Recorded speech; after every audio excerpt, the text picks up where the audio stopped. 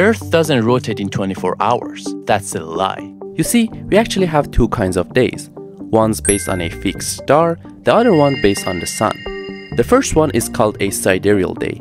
It's when Earth completes a full 360 degree rotation on its axis, taking 23 hours, 56 minutes, and 4 seconds. We use this for super precise calculations like launching satellites into geostationary orbit. Then there is the solar day, which we use in our day-to-day -day lives. This one is based on the time it takes for the sun to return to the same spot in the sky as the day before, which takes longer because while Earth rotates 360 degrees, it also moves in its orbit around the Sun. So the Sun isn't quite back in place yet, and Earth needs to rotate an extra degree, which takes that extra 4 minutes. But even that's just an average, because Earth's orbit isn't a perfect circle. Here at perihelion, we are closer to the sun and move faster in our orbit. And here at aphelion, we are farther away and move slower. This means that extra degree of rotation can vary, making some solar days up to 14 minutes longer or shorter throughout the year.